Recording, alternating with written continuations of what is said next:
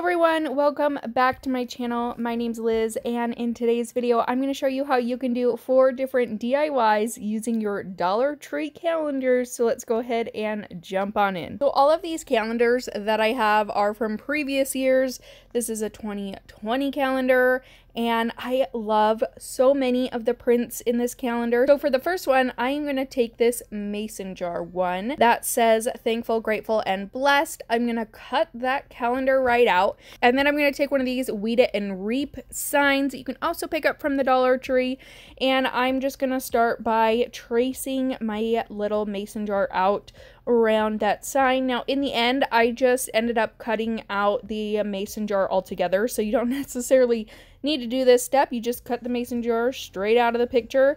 And of course, you're not going to be able to get all the florals cut out from the picture itself. So I was okay with some of those florals sticking down on the mason jar. I'm going to use some florals that are pretty much the same color of the as those, so it's just going to blend all together. So you can see here I'm just cutting my mason jar completely out from the picture. And after that's done, I'm going to take my Waverly chalk paint in Elephant. It's pretty similar to that darker color in the mason jar, which kind of looks like the background of the picture in the mason jar. So I just did probably about one and a half coats of this color on the entire sign. I'm going to let that dry. And then I'm going to take a glue stick and glue my calendar picture right towards the bottom of the sign.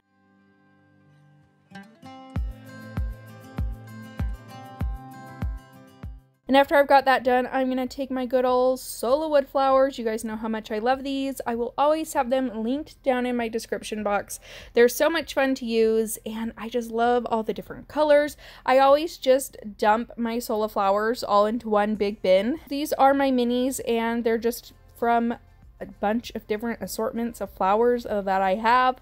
And then I'm going to take some little greenery pieces that I keep in my stash of little clipped greenery and I'm just going to begin hot gluing everything down. Like I said, I'm going to use these coral colored flowers on top of the coral colored flowers that were on the mason jar if that makes sense so that it all just kind of blends in and then I just kind of started gluing the flowers where I thought that they would look pretty. I like to place my flowers kind of in an arrangement before I start gluing as well so I can kind of get an idea of what I want it to look like and then I just snip my little greenery pieces even more and put them in between my flowers, start making it look like more of a bouquet and add some greenery in between the flowers. So it all just kind of comes together that way and I absolutely love the way this looks. I did something a little bit similar um, several videos ago where I did rain boots and then Sola flowers coming out of the rain boots. I'll link that video up above if you want to check it out. But I just think that it is so much fun to create little bouquets on signs like this with your Sola flowers. I just think they are gorgeous. So I'm just going to take some of this lace ribbon that you can get from the Dollar Tree. All I'm going to do is wrap a piece around the top portion, hot glue it in place, and then do the same thing on the bottom. And then to finish the top off, I'm just going to create a little bow just by making two loops and tying them together like you would your shoes. So like a little shoelace bow. and I just mess with the length of the loops a little bit until I get it the size that I want it. And then I'm just going to hot glue that to the middle of the other piece of lace that's on the top of my sign. I'll angle cut the tails for my bow and that's all you got to do for this DIY.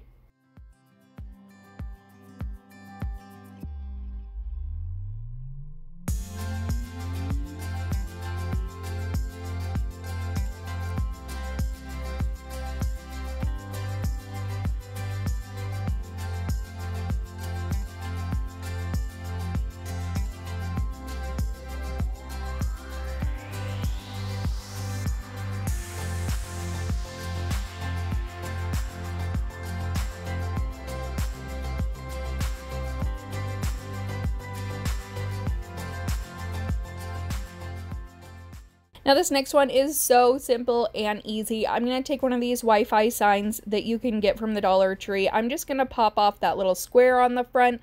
I love tag signs and I absolutely love that this was kind of a medium size. It wasn't like the big tags like they have in their home decor section. This is just like a good medium size. So I was really excited when I found these. Now I'm going to take another picture from that same exact calendar. I'm going to cut that one right out. And I'm going to kind of place it on the back of that tag sign and try to get an idea of where I need to cut it.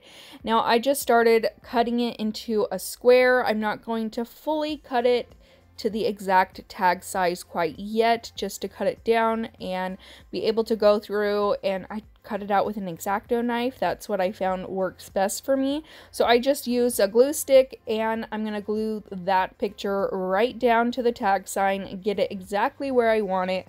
And then I'm just going to take my Cricut X-Acto knife and cut off all the excess pieces of calendar around all of the sides. I'll go through with my X-Acto knife and cut a hole where that hole is on the top of the tag. And then I'm going to take some twine, I'll wrap it around the bottom portion of my sign, probably about about four times and then I'm going to tie a double knot and after I tied my double knot I decided I wanted kind of a chunkier knot look to it and I probably tied about five to six knots on top of that. And then all I'm going to do after that is take some more twine. I'm going to loop it around probably about four or five times and I'm going to string it through the hole on the top of my tag and then I'll tie it in a knot at the top cut the loops and cut the excess twine towards the top so it's all nice and even. And that's all you have to do for this DIY I think this one turned out so so cute and it looks like such a cute sign. You never would have known that this was a calendar from the Dollar Tree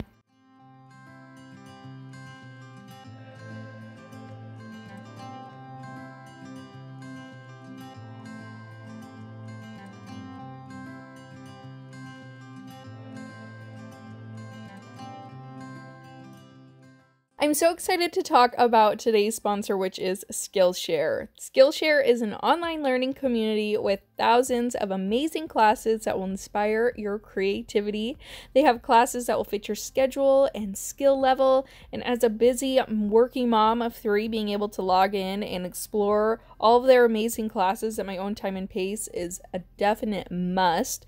Most classes are under 60 minutes. I've explored watercolor classes one line drawing and simple shapes and patterns. One class that I've been enjoying lately is Modern Watercolor Techniques by Kat.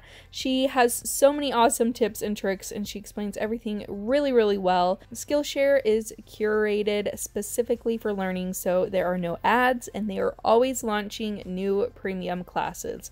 The first 1,000 of my subscribers to click the link in the description box will get a free trial of a premium membership so that you can explore your own creativity. So I will have that linked down below. So for this one, I'm going to take a square sign from the Dollar Tree. This was during their Valentine's Day season. I'm going to take this picture from the exact same calendar that I've used in my previous two DIYs and I'm just going to start cutting it down. So I didn't want this home word on the top because I do have another piece that says home that I'm going to use.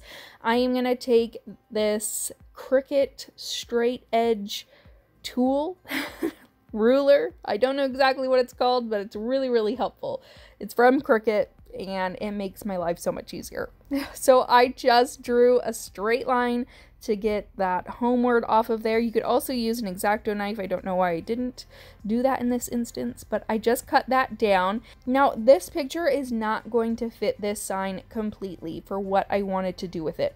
So I tried to find a piece of scrapbook paper that was going to match the best to the shiplap kind of look on the back of the calendar sign. So I found this scrapbook paper at Hobby Lobby that I had in my stash. I cut that down to the size that I need it and now I'm going to start gluing everything down. So I'm just going to use my glue stick and apply that to the back of that Dollar Tree sign.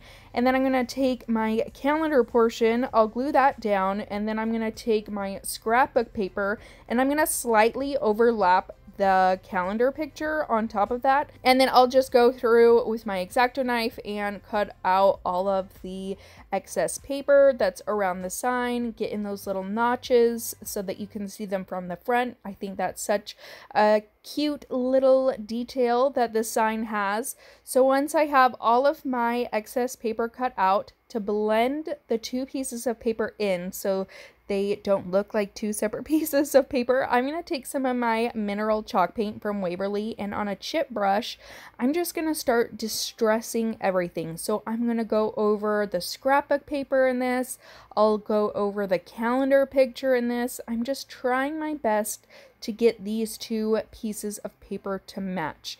It's not going to matter too much because I am going to be covering up the majority of the bottom piece of this sign, so where that scrapbook paper is, but I just wanted it to look a little bit more natural, not so, you know, like I stuck two different pieces of paper on there.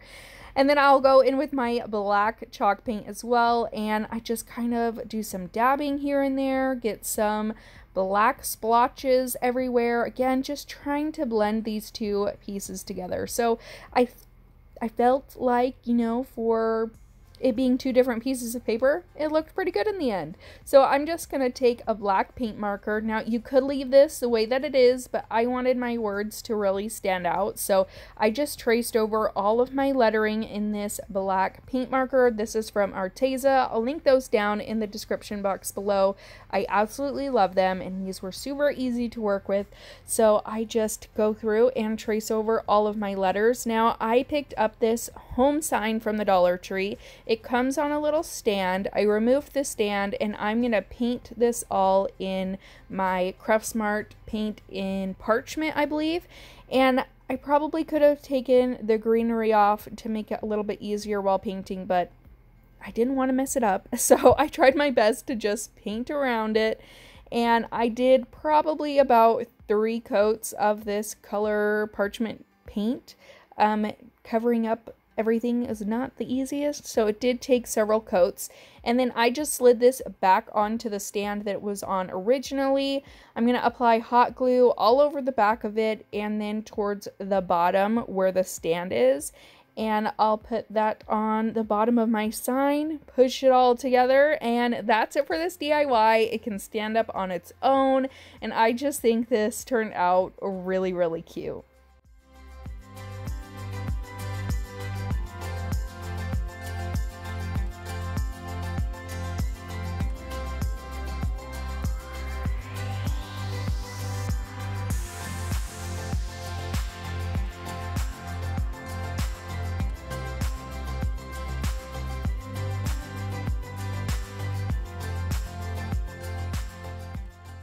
Now for this last one, I'm going to take the Farmer's Market calendar that is super popular from the Dollar Tree. I know these were really hard to find, but if you didn't know, the woman who illustrates all of these pictures has an Etsy shop where she has other prints that she puts up for sale, and I want to say she has these ones on there too. I'll link her Etsy page in the description box below, but I think it's absolutely fantastic. If you weren't able to find this calendar, you can go on and purchase her prints and they are beautiful. So I'm going to take the home frame that you can get from the Dollar Tree. I'm going to remove everything from the back and I'm going to take the glass in there and trace out this page from this calendar with the little creamery milk picture. I just thought this was so, so cute.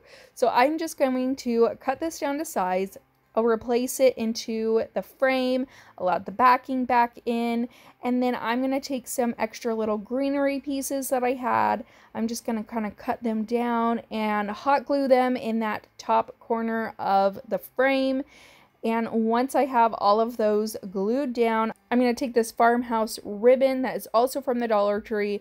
I'm going to make a simple shoelace bow out of it. I'll dovetail the ends and then I'm just going to hot glue this right in the middle of that greenery. And that's it for this DIY. I think this turned out so cute. This was so simple to make. It probably took me 10 minutes and I absolutely love this one.